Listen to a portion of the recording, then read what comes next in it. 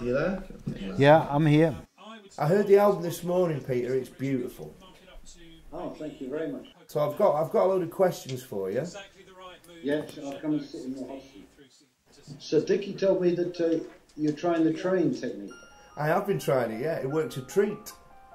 Oh, good. Yeah, yeah, it's great. I'm sort of sitting at the front of the tour bus as well. Ah, right. Oh, that's a good idea too. Very inspiring. It's almost like flying if the window's big enough.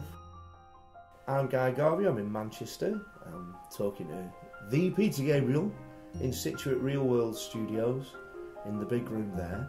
I wish I was there as always. I've spent an awful Right. lot of time at your place, as you know, and I do find it very inspiring. Great. Well, we appreciate it. Ah, lovely man. Uh, so, uh, I heard New Blood this morning. Um, congratulations, mate. It's a beautiful record. Um, Thanks very much. it's got lots and lots of old memories for me because I've always been a huge fan of music, as you know. What I was really struck with was because I knew a lot of the songs really, really well. I mean, I think I knew all of them, but I knew some of them better than others.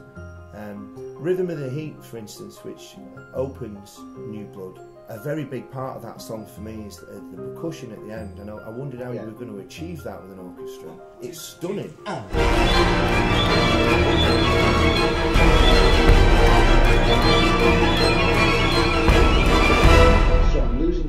bit here. It's, it's uh, intermittent, and I've lost picture.